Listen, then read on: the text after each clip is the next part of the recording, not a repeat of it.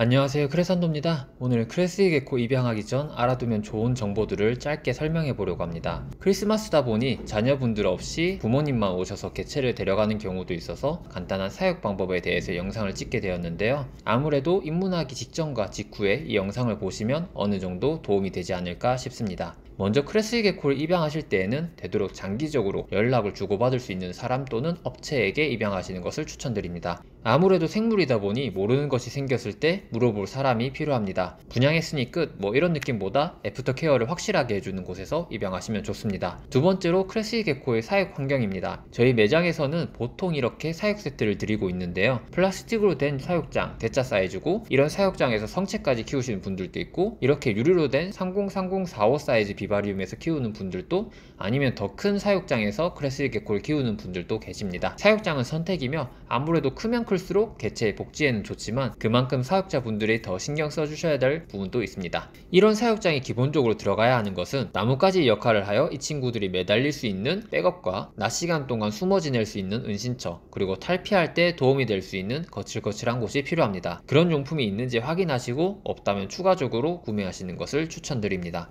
사육 온도는 20도에서 30도 사이를 유지해 주시는 것이 좋으며 겨울에 보일러를 틀고 계시다면 바닥에서 50cm 이상의 높이의 선반이나 탁자에서 키우시면 좋습니다. 습도는 40%에서 60% 정도를 권장합니다. 슈퍼푸드는 분양자가 먹이던 제품을 그대로 먹이는 것을 추천드리며 다른 사료를 급여해보고 싶으시다면 제가 추천드리는 사료는 리핀 리조또와 Pangea Insect 이 두 가지입니다.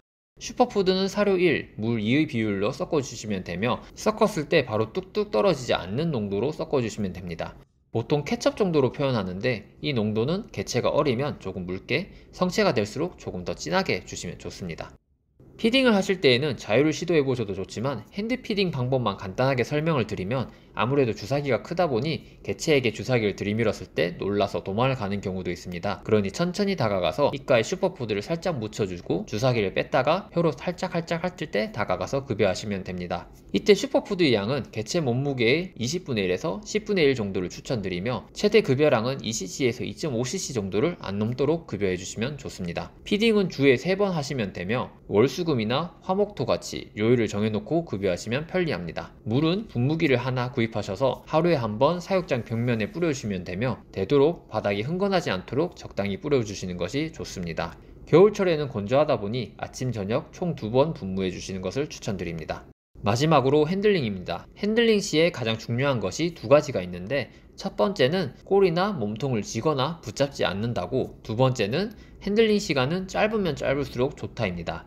핸들링을 하실 때는 손 위에 올라오도록 유도하고 그 이후부터는 손을 징검다리처럼 만들어주며 핸들링 해주시면 됩니다. 야생에선 나무에서 살던 친구들이다 보니 본능적으로 위로 올라가기 마련인데 이런 때에도 당황하지 마시고 이렇게 쓸어내려 주시면 됩니다. 핸들링은 하루에 5분 이내로 해주시는 것을 추천드립니다. 최근에 파충류 카페를 하나 개설했습니다. 이름은 대구 파충류를 사랑하는 사람들로 대구 지역 기반 커뮤니티지만 어, 다른 지역 분들도 가입하셔서 크레스이 개코 관련 질문을 하시면 제가 확인하고 답변을 드리겠습니다.